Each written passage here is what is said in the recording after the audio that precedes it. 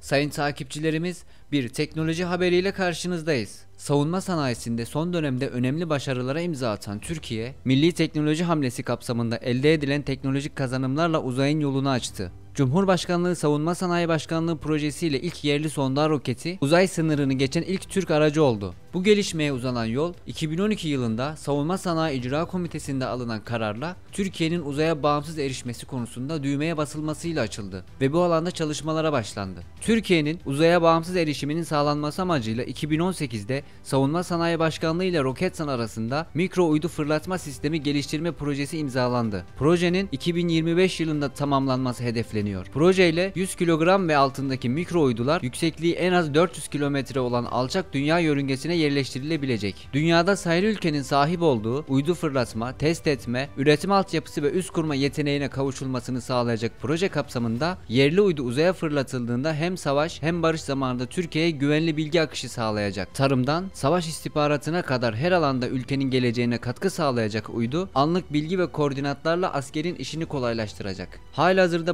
projeye ilişkin test çalışmaları başarıyla devam ediyor. Uzaya erişim için gerekli onlarca teknoloji geliştirme projesi, üniversiteler, paydaş milli firmalar ve enstitülerle birlikte yürütülüyor. Roketsan 3 yılda 24 farklı teknolojiyi kendi mühendislik gücüyle yerli paydaşlarla geliştirdi. Başarılı test sonuçlarının arkasında Roketsan'daki bine yakın uzman ve teknisyenin 1 milyon saati aşan alın teri bulunuyor. 4 yılda uzaya erişme hedefine 1 sene erken ulaşılırken 3 yıllık çalışma sonunda Türkiye tamamen kendi geliştirdiği teknolojilerle uzaya ilk adımını atmış oldu. Kıymetli izleyenler, Türkiye ve dünya gündeminden en sıcak haberleri sizlerle buluşturuyoruz. Tüm gelişmelerden haberdar olmak için lütfen kanalımıza abone olmayı unutmayın.